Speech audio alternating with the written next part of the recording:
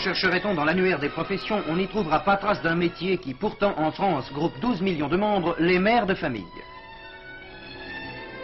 Exactement comme les ouvriers spécialisés doivent avoir acquis une technique perfectionnée, les mères de famille ont besoin pour bien faire leur métier de beaucoup de savoir-faire.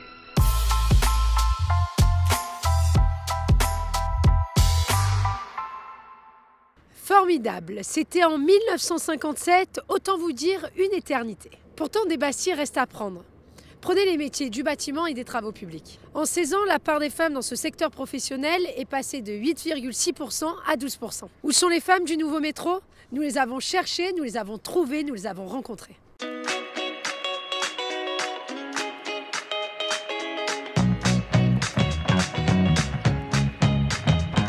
Retrouve à Aulnay-sous-Bois sur l'un des chantiers de la ligne 16 du nouveau métro et nous allons à la rencontre de Camélia qui travaille ici. Suivez-moi. Bonjour Camélia.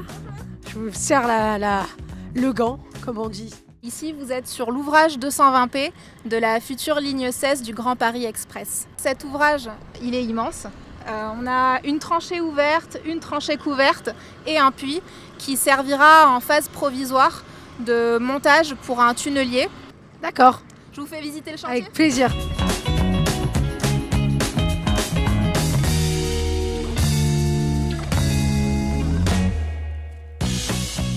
J'ai effectué des stages, donc euh, stage ouvrier et euh, en tant qu'assistante euh, conducteur de travaux. Et puis j'y ai découvert des, des hommes et des femmes passionnés, j'ai découvert un- des métiers dynamiques dans ce secteur.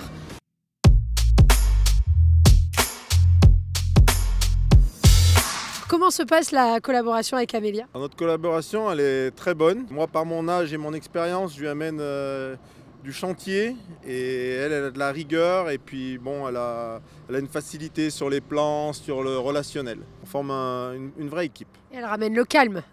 Elle ramène le calme et la sérénité. Vous validez? Des fois j'amène la tempête aussi quand même. Qu'est-ce qui explique le fait qu'il y ait de plus en plus de femmes euh, dans l'univers du BTP Alors d'un point de vue encadrement, je pense que les entreprises recrutent euh, leurs compétences à la sortie des écoles euh, scientifiques et techniques. Et comme de plus en plus de femmes se dirigent euh, vers ce type d'études, forcément, de nombreux profils féminins sont présentés aux entreprises qui recherchent avant tout des compétences. Les clichés, ils se forgent bien avant la vie professionnelle. Le moment de l'orientation est décisif. Justement, Téna a choisi de se diriger vers les métiers du BTP.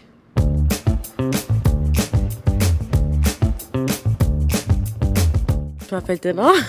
Euh, je suis en terminale STDD option architecture et construction. Et euh, plus tard, euh, j'aimerais bien me diriger vers les métiers du, du bâtiment en fait. Parce que toi, tu avais des a priori par rapport à ces métiers-là? Tu avais l'impression que c'était pas accessible à des femmes? Moi personnellement, non. Franchement, je me suis toujours dit que métier, il n'y a pas de catégorie de métier pour hommes ou pour femmes. Je me suis jamais dit ça.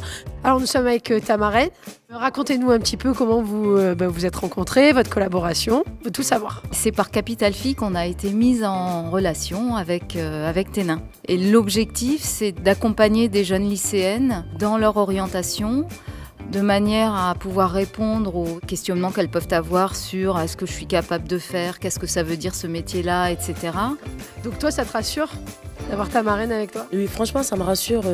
En plus, moi, euh, j'aimerais bien faire un BTS, mais en alternance, donc euh, elle m'aide beaucoup. Ouais. pour trouver des entreprises et tout, donc euh, l'aide de motivation, CV et tout, donc euh, franchement, elle m'aide beaucoup. Ouais. C'est un bon binôme que nous avons.